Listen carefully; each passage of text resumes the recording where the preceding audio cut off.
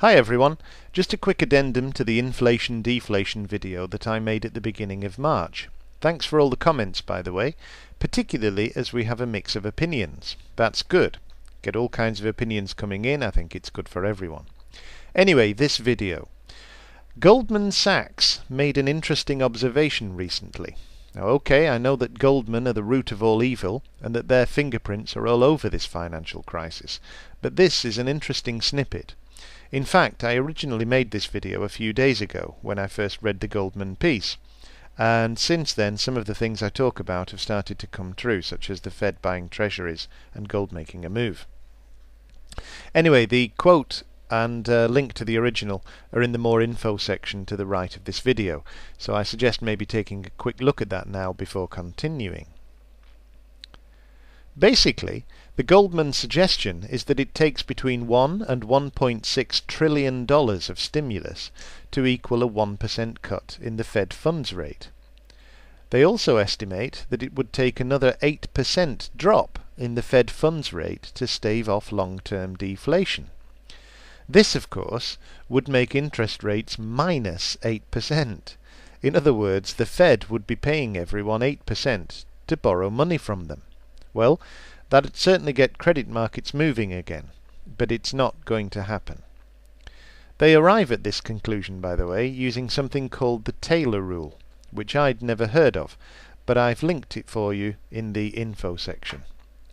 Anyway, as I said, Goldman estimate that to prevent long-term deflation, the equivalent to minus 8 Fed funds rate is going to be needed. Now the Fed funds rate is close to zero now, and the Fed are basically out of bullets in that weapon. They're not going to begin paying people 8% to borrow money from them, so what is their alternative? The answer is monetization and further expansion of the balance sheet.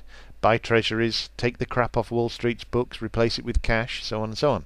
Now, as I mentioned at the beginning, I originally made this video a few days ago, and uh, we're beginning to see more of this now with um, the announcements. Anyway, how much will it take? Well, here's Goldman's figures.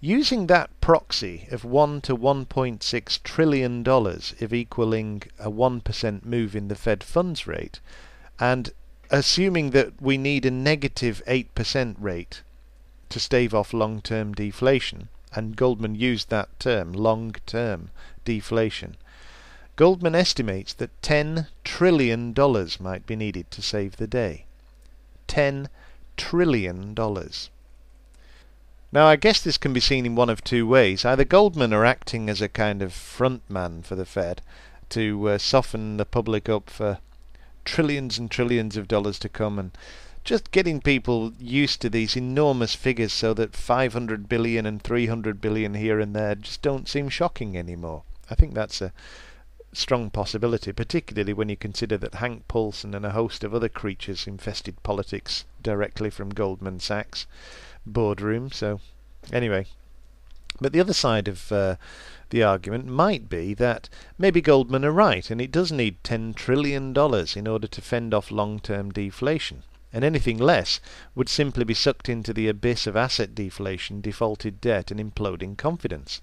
In other words, the Fed are kind of sitting at a card table, and with the hand they've got, if they can't go all in on this hand, then there's no point placing a bet at all. It's a, it's only going to work if they get to that figure. So I don't know. It it I must say that um, the inflationists and gold bugs um, must take some some support from uh, from this kind of uh, thinking. But I still maintain that the deleveraging and absolute massacre of wealth on the other side of the trade it's still in play it's still in play. The deleveraging isn't over yet.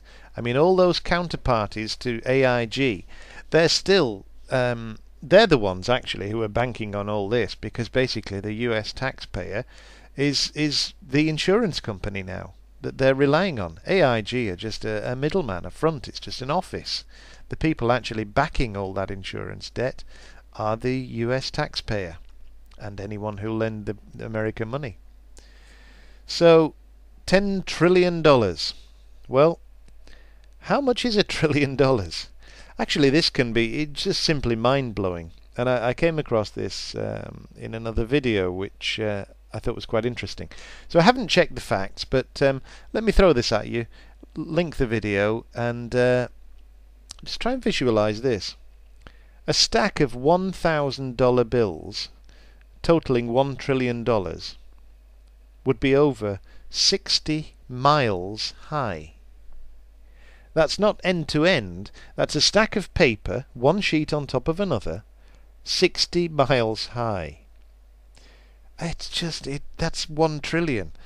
This thing is, it's just out of control. It's unbelievable. Anyway, I'll put a link to that video too.